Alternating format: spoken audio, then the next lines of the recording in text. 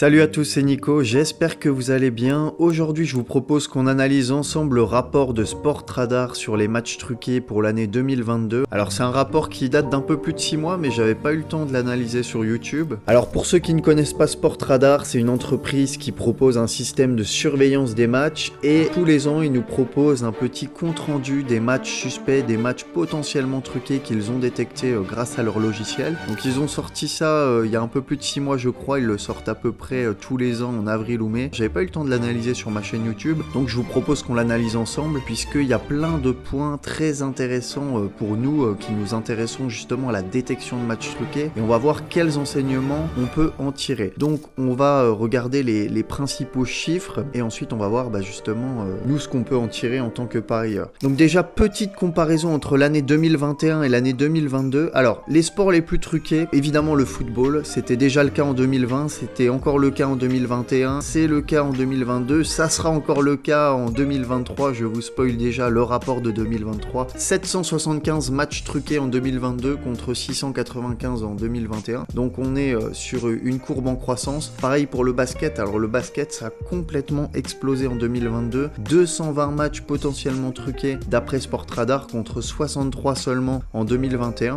D'ailleurs vous pouvez le constater vous-même si vous vous intéressez à la détection de matchs truqués sur le basket. J'en vois de plus en plus sur le groupe de discussion sur Telegram qui partage des bêtes sur le basket. Il y a pas mal d'infos qui sortent sur le basket. Et je pense qu'en 2023, ce chiffre devrait être euh, gonflé. Notamment, euh, voilà, je pense aux pays euh, asiatiques, je pense aux Philippines. On a eu énormément de matchs truqués de ce que j'ai pu voir. Je me focus sur le football, mais de ce que j'ai pu voir, il y a eu énormément de matchs truqués dans ces ligues-là en 2023. Et le tennis, alors le tennis qui est le troisième sport le plus truqué avec 75 matchs en 2022 contre 53 en 2021 ça reste assez faible. Personnellement, je me focus pas sur le tennis. Je trouve ça trop compliqué à détecter et ça m'intéresse pas. Mais s'il y a des spécialistes tennis, ça peut être intéressant pour vous de, vous intéresser à ce sport. Après, c'est vrai que le nombre de matchs truqués sur l'année, ça reste très faible. 75 matchs en, 2022, on verra le chiffre en 2023, ce sera peut-être un petit peu en hausse, mais ça reste quand même très faible pour le temps passé à, détecter les matchs. Donc déjà, si j'étais débutant et que je souhaitais commencer la détection de matchs truqués, ce que je ferais pour optimiser euh, le temps résultat, je me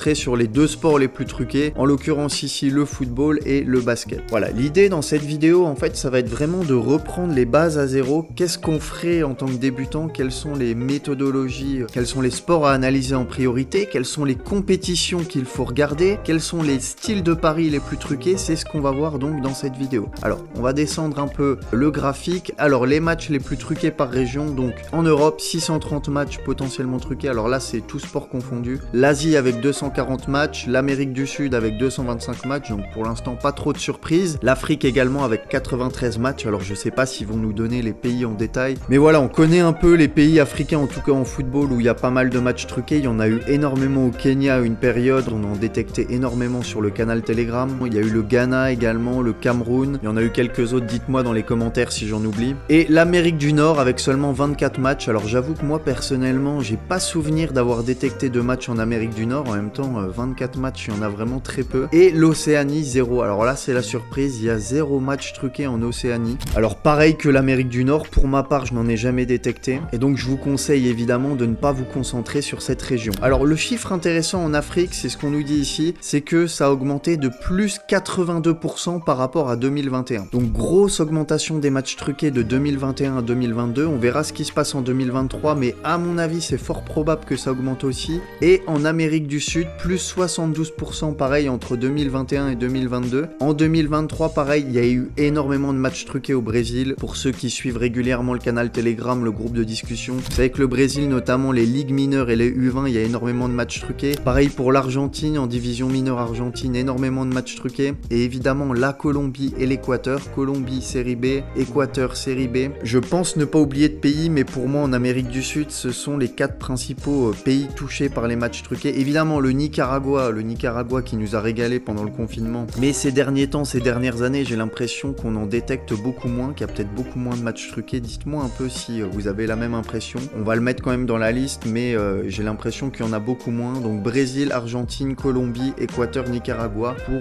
l'Amérique du Sud. Alors justement, dans la diapo du dessous, on nous donne les pays les plus touchés par les matchs truqués. Et en premier, on a bien le Brésil avec 152 matchs truqués. Brésil, je vous le disais, c'est le pays en Amérique du Sud où il y a le plus de matchs truqués, notamment dans les divisions mineures et dans les divisions U20. Euh, et c'est même le pays où il y a le plus de matchs truqués dans le monde en 2022 avec 152 matchs potentiellement truqués détectés par Sportradar. Suivi par la Russie avec 92 matchs. C'est vrai que la Russie, depuis le début de la guerre, ils ont été exclus un peu de toutes les compétitions. Ils n'ont plus que leur championnat national. Et il y a énormément de matchs truqués dans les divisions mineures russes, en seconde division, troisième division, pareil dans les divisions U20 et également des matchs amicaux. Les Russes organisent énormément de matchs amicaux et tous ces matchs amicaux, j'ai l'impression, ont pour but de faire de l'argent, de truquer des matchs. Et je pense que si vous suivez un peu les matchs truqués, vous avez également un peu cette impression aussi. La République tchèque avec 56 matchs. D'ailleurs, ça me fait penser au match amical de Slovako la dernière fois où l'arbitre a sifflé 3 pénalties. J'en ai parlé dans ma dernière vidéo sur les matchs truqués. Ou même un joueur de Slovako m'avait répondu sur Twitter et était euh, choqué du comportement de l'arbitre. Donc évidemment, la République tchèque, pas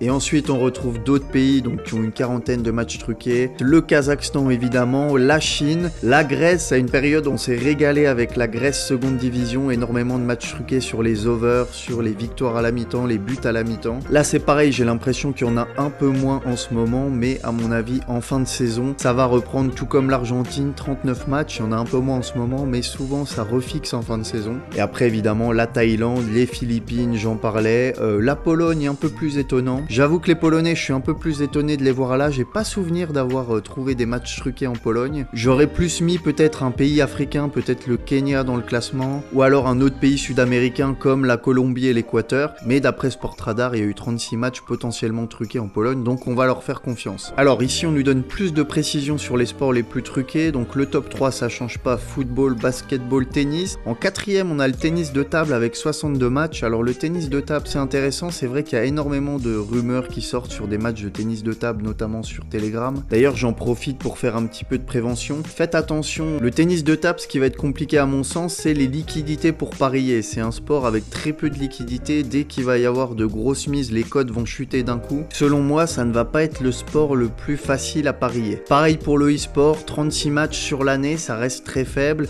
et les liquidités vont également être très faibles. Ensuite, on a le baseball avec 13 matchs, le hockey sur glace avec 11 matchs et ensuite on a quelques autres sports mais vraiment les statistiques sont très faibles, le hockey, les fléchettes, etc. Moi, si j'étais débutant, je me concentrerais sur le football et le basketball et je me concentrerais voilà, sur les pays les plus truqués, les pays d'après Sportradar où il y a le plus de matchs, c'est là où je focuserai toute mon attention. Mais c'est tout de même intéressant d'avoir les chiffres sur les matchs truqués en dehors du football et surtout l'évolution. On voit qu'en 2019, le football était euh, majoritaire puisqu'on avait seulement 130 matchs truqués en dehors du football. Ça a en 2020 l'année du Covid, 226. Ça a un petit peu rebaissé en 2021, seulement 210 et ça a vraiment explosé en 2022. Je pense que c'est vraiment le basketball qui a fait exploser cette statistique. 437 matchs truqués en dehors du football. Donc je sais pas si on peut dire qu'avant les truqueurs de matchs se focalisaient uniquement sur le football ou en tout cas principalement, mais qu'ils commencent de plus en plus à se tourner vers d'autres sports. Donc ces statistiques sur les autres sports seront à surveiller, notamment pour le bilan 2023. On en reparlera quand il sera sorti par Sportradar. Alors le nombre de matchs suspects par mois, je sais pas si euh, c'est vraiment une statistique vraiment intéressante. Donc apparemment c'est en décembre où il y en a le moins, seulement 62. Peut-être que voilà, après avoir truqué plein de matchs durant l'année, les truqueurs prennent un peu de vacances au mois de décembre. C'est Noël, c'est euh, Nouvel An, c'est les fêtes. Ils ont bien raison, ils se font plaisir. Donc seulement 62 matchs truqués en décembre. Et les mois où ils sont le plus productifs, alors septembre avec 125 matchs, c'est un petit peu logique, c'est la reprise des championnats, suivi d'octobre avec 120 matchs. Et ensuite on a mars, avril, mai, juillet, voilà, pas mal de matchs. Et finalement les mois où il y en a le moins, ça a l'air d'être euh, cette période, début d'année, décembre, janvier, février, c'est un peu plus calme. Euh, mois d'août, peut-être qu'ils prennent des vacances aussi au mois d'août. Hein. Ils ont l'air de prendre des vacances début d'année, euh, fin d'année. Novembre, décembre, c'est un peu la trêve avec le mois d'août. Bon, je rigole un peu, je plaisante un peu sur ce diapo, mais je pense pas que ce soit des statistiques très intéressantes à prendre en compte pour nous. Ce diapo, par contre, va être très intéressant pour nous puisqu'il va nous donner les types de résultats, les types de marchés qui sont le plus truqués dans les paris sportifs. Les marchés sur lesquels les truqueurs misent le plus. Et c'est là où nous, en tant que parieurs, on va devoir se concentrer au moment de détecter un match truqué. Alors, c'est sur le football, après on regardera sur le basket puisqu'on veut se concentrer sur ces deux sports, mais d'abord on va se concentrer sur le football qui est le sport le plus truqué. Et on voit que en football, 48,7%, donc quasiment 50% des matchs truqués sont truqués sur une combinaison de résultats qui sont les handicaps et les overs. Donc pour vous donner un exemple précis, prenons un match au hasard qui se joue aujourd'hui en Israël, puisque c'est un pays également où il y a énormément de matchs truqués en ce moment. Imaginons qu'une organisation mafieuse essaye de truquer ce match entre Tel Aviv et la Poel Ercilia. Ils veulent donc truquer une combinaison d'handicap et d'over. Qu'est-ce que ça veut dire? On va dire que c'est l'Apoel Erzilia qui est ciblé. Ils vont payer plusieurs joueurs de l'Apoel Erzilia et ils vont dire par exemple vous allez perdre avec 3 buts d'écart, vous allez perdre 3-0. Donc ce qu'ils vont faire c'est qu'ils vont s'attaquer à l'handicap. Par exemple ils vont s'attaquer à l'handicap moins 1,5 et ils vont miser donc sur l'handicap moins 1,5 pour les locaux. Moins 1,5 ça veut dire que l'équipe locale, en l'occurrence ici Tel Aviv, doit gagner par au moins 2 buts d'écart. Donc on a une belle cote ici pour le handicap moins 1,5 et si effectivement ils s'attaquent à ce handicap, la cote risque fortement de chuter. Mais en plus de miser sur cet handicap, ils vont également aller miser sur l'over 2,5 buts et ils vont miser ici sur l'over 2,5 buts à 2,06. Alors évidemment, ils ne vont pas combiner ces deux paris, mais ils vont miser ces deux paris en simple. Ils vont miser plein de paris sur l'over 2,5 et également plein d'autres paris sur l'over moins 1,5. Ils vont miser sur plusieurs books, des bookmakers asiatiques, des bookmakers locaux, des softbooks. Et c'est ce qu'on appelle donc un match truqué sur une combinaison de résultats. Donc ça représente quasiment 50% des matchs truqués. Ensuite, 24,8%, donc quasiment 25%, un quart des matchs truqués sont truqués sur les over only, donc seulement sur le nombre de buts dans le match. Donc même exemple ici, ils ne vont pas s'attaquer à l'handicap, mais cette fois ils vont dire aux joueurs qu'ils ont payé, vous devez encaisser au moins 3 buts dans ce match. Alors je parle des joueurs, mais ça peut être également l'arbitre. On l'a vu plusieurs fois des cas de figure où le match truqué était truqué sur un nombre de buts dans le match, mais c'était l'arbitre qui était impliqué. Et donc ils vont dire à l'arbitre par exemple, tu vas devoir siffler des pénalties, tu vas devoir euh, ne pas siffler des hors-jeux. Bref, tu dois tout faire pour qu'il y ait 3 buts dans le match et ils vont miser sur l'over 2,5. Donc ensuite, quasiment 8% des matchs sont truqués seulement sur le handicap. Donc ça, on l'a vu, ça peut être handicap moins 1, moins 1,5, moins 2, moins 2,5. Voilà. Donc tout ça dépendra aussi des différences de niveau entre les équipes et des codes qui sont proposés par les bookmakers. Ensuite, on a 7,8% également de manipulation complexe. Alors complexe manipulation ils nous disent que ça peut être des scores exacts ou alors encore les deux équipes marquent. Et pourquoi ils appellent ça complexe manipulation? Parce que je pense que ce sont des matchs un peu plus compliqués à truquer puisqu'il faut l'implication des deux équipes, en tout cas de joueurs des deux équipes. Puisque si on veut truquer par exemple un score exact, un 0-0, il faut se mettre d'accord avec les joueurs des deux équipes pour ne pas marquer. Ou un 2-2, ça peut être plus compliqué, il faut leur dire bah voilà, vous jouez le match, mais il faut absolument que le match se finisse sur un score de 2 partout. Pareil pour les deux équipes marquent, bref, vous avez avez compris la logique et c'est pour ça qu'on a un peu moins de matchs truqués comme ça. Alors pourtant c'est des matchs truqués qui rapportent beaucoup plus puisque si on va miser sur des scores exacts par exemple ça peut être plus compliqué à miser au niveau des liquidités mais par contre si on trouve des bookmakers sur lesquels on arrive à miser sur les scores exacts et qu'on a réussi à convaincre les joueurs des deux équipes de faire ce score exact ça peut être le jackpot pour les truqueurs. Et ensuite Other, alors Other je pense que ça peut être par exemple la manipulation sur les corners, les matchs truqués sur les corners, sur les cartons jaune. D'ailleurs, on en a vu même en première ligue. Hein. Je vous rappelle les histoires avec Paqueta par exemple. Et ça, tout ce qui est pari alternatif, match truqué alternatif, ça représente quasiment 11% des matchs truqués. Et une chose qui est intéressante à savoir, c'est qu'on nous dit que le over only, donc qui représente un quart des matchs truqués, est très attractif pour les arbitres et c'est peut-être même plus intéressant pour les truqueurs de payer seulement l'arbitre, de payer un arbitre central, plutôt que de devoir corrompre plusieurs joueurs d'une équipe. Donc ce qu'il faut avoir à l'esprit, c'est quand on pense qu'un match truqué est truqué sur les overs, c'est fort probable que ce soit l'arbitre qui soit impliqué. C'est pas sûr, il y aura des cas de figure où ce sera des joueurs, mais en tout cas ça va être un style de match truqué très attractif pour les arbitres. Donc les matchs truqués en basket d'après Sportradar, il y en a eu 137 en Europe, 63 en Asie, seulement 10 en Afrique, 7 en Amérique et seulement 3 en Amérique du Sud, donc visiblement ils sont bien plus forts pour truquer les matchs. D'autres chiffres qui vont être très intéressants pour nous, c'est les niveaux de compétition qui sont visés par ces matchs truqués. Alors ce qu'on peut constater, c'est que 18% à peu près des matchs truqués sont truqués dans les premières divisions,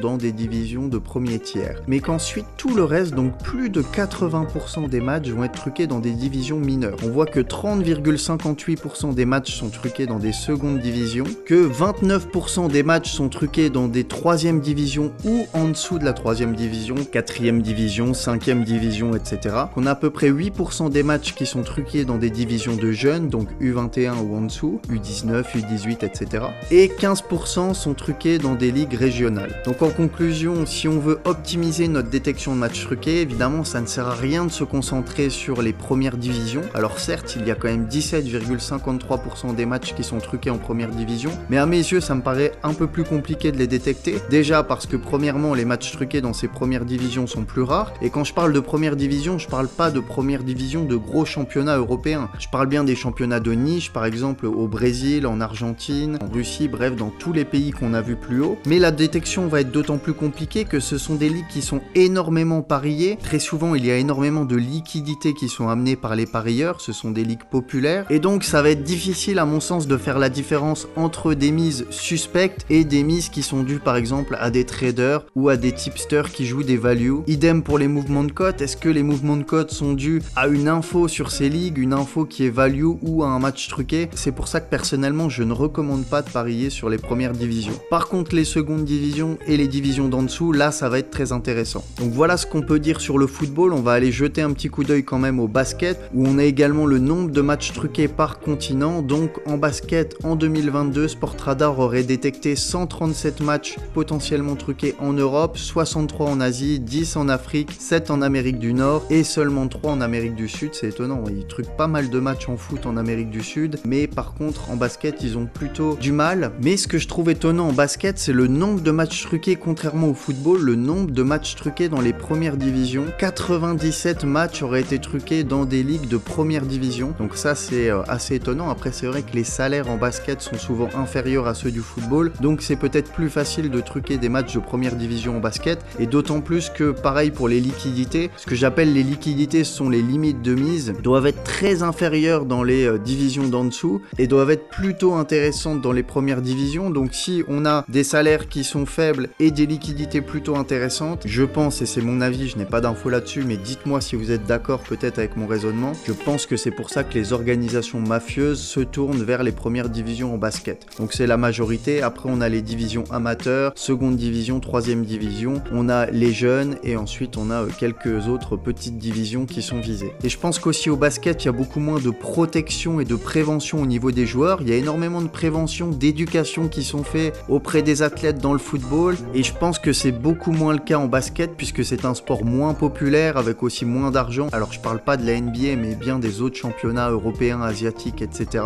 Ce qui rend à mon avis les joueurs de basket plus vulnérables auprès des truqueurs de match et c'est pour ça qu'on connaît une telle augmentation des matchs truqués en basket. Alors ce qui est intéressant au niveau du basket, c'est écrit en anglais mais je vais vous le traduire, on nous dit que le marché des paris en direct ont été exclusivement ciblés dans 68% des matchs de basket ciblés en 2022. Donc au basket, ils misent quasi exclusivement en live, quasiment jamais en pré-match. Donc 68% sont les matchs exclusivement truqués en match. On a également 6% des matchs seulement qui sont truqués uniquement en pré-match. Donc ça, ce sont les matchs où ils misent en pré-match mais ils ne misent pas en live. Et on a 26% des matchs où c'est un peu des deux, où ils misent d'abord peut-être en pré-match et après ils continuent de miser en live. Mais donc ce qui est important à retenir, c'est que la majorité des matchs de basket sont truqués en live. Et donc la méthode de manipulation la plus courante dans le basket, et ça c'est historique, c'est l'équipe va perdre par X points. Donc par exemple, tu dois perdre par 10 points. C'est un peu comme le handicap au foot. Ensuite, bah, comme en foot, on a également les over-under. Donc 53% des matchs ont été ciblés par des paris sur les over. Donc vous devez mettre plus de euh, tel point dans le match. Paris pour l'under, vous devez mettre par exemple moins de 150 points dans le match. Et sur ce type de pari, je pense que les arbitres sont également impliqués. Ensuite, on a d'autres types de paris qui sont un peu moins ciblés. Mais les trois paris les plus attaqués par les mafieux, ce sont donc les handicaps, vous devez perdre par euh, moins de tel point, et puis les over-under.